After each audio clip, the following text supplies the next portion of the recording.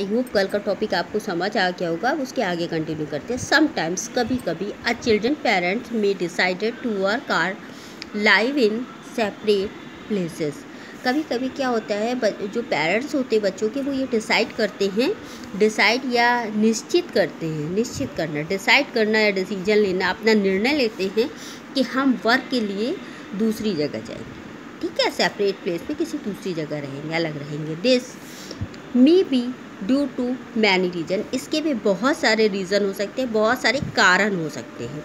For example जैसे कि a children's father might work in a place where there is no school to the families liking ठीक है?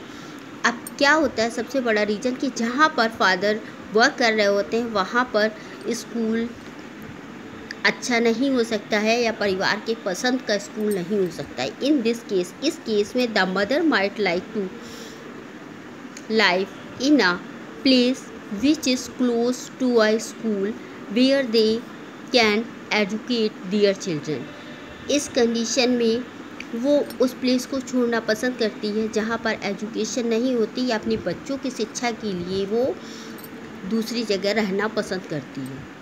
Thus, the children may live with his or her mother and meet the father on weekends or during vacation. इस condition में क्या होता है बच्चे अपनी मम्मा के साथ रहते हैं और उनके फादर वीकेंड पे मतलब जब वीक के लास्ट में छुट्टियाँ होती हैं जो सैटरडे संडे छुट्टियाँ होती हैं या ड्यूरिंग वैकेशन जब वैकेशंस होती हैं तब उनके पेरेंट तब उनके फादर बच्चों से मिलने आते हैं। सिमिलरी सेम होता है people who work in the defence force are sometimes posted in field area कभी कभी होता है कि जो कुछ लोग डिफेंस में फोर्स में फोर्स में होते हैं पोस्टेड होते होते हैं और उनका फ़ील्ड एरिया में पोस्टिंग हो जाता है।